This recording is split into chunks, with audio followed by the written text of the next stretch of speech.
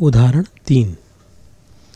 तेज हवा से टूटे एक पेड़ का सिरा झुककर पेड़ के पात से 6 मीटर की दूरी पर ज़मीन को छूता है। यह हिस्सा ज़मीन से 60 अंश का कोण बनाता है। पूरे पेड़ की ऊंचाई ज्ञात कीजिए। हल। पेड़ का टूटा हुआ भाग एसी है। दिया गया है कि टूटे सिरे के शीर्ष से पेड़ के पाद बिंदु की दूरी 6 मीटर है। समकोण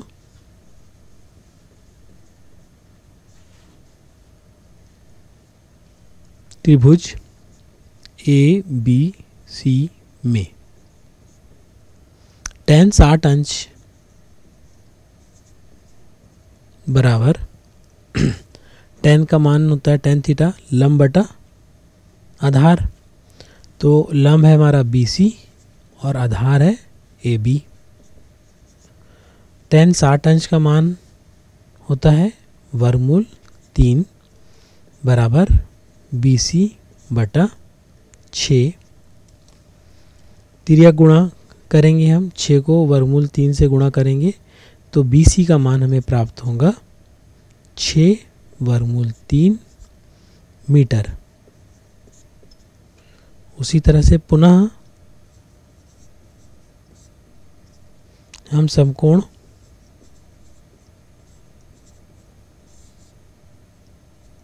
समकोण त्रिभुज ए बी सी में लेंगे साइन साठ अंश।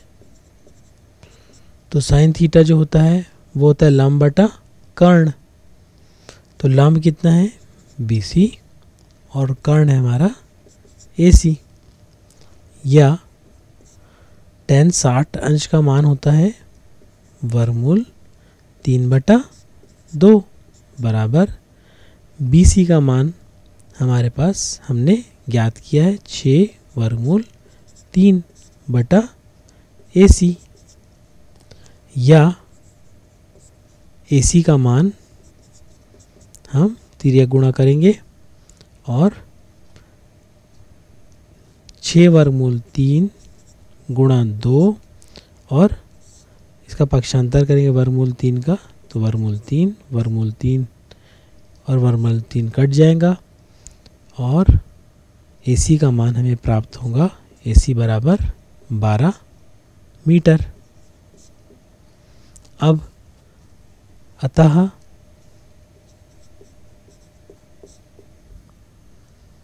पेड़ की ऊंचाई।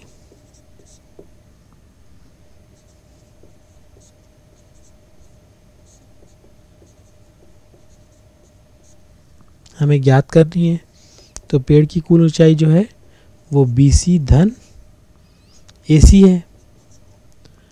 तो बी सी हमने ज्ञात किया छ वर्मूल तीन मीटर धन ए सी का मान हमने ज्ञात किया बारह मीटर।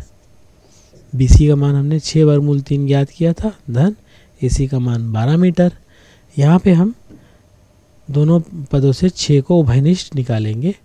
तो कोष्टक में हमारे पास वर्मूल तीन, धन दो मीटर। इस तरह से हमने पेड़ की ऊंचाई ज्ञात की। छः कोष्टक में वर्मूल तीन, धन दो कोष्टक बंद मीटर।